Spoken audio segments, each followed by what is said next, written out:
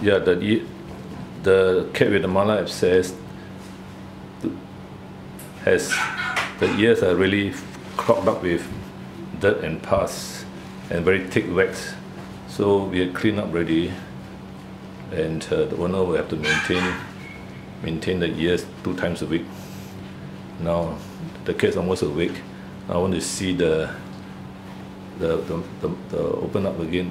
We clean up the malar abscess. Now open the tooth has been extracted.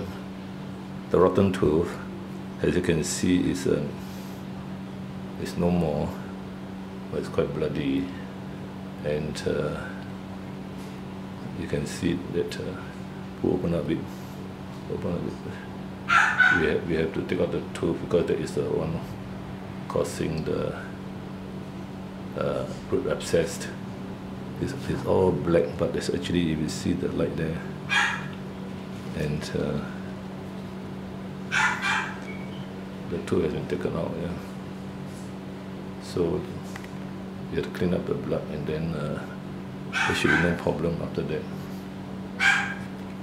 Uh, regular dental cleaning will be the best for dogs and cats, senior dogs and cats over three years old to prevent such such things from happening. March 10, 2014 to Vets.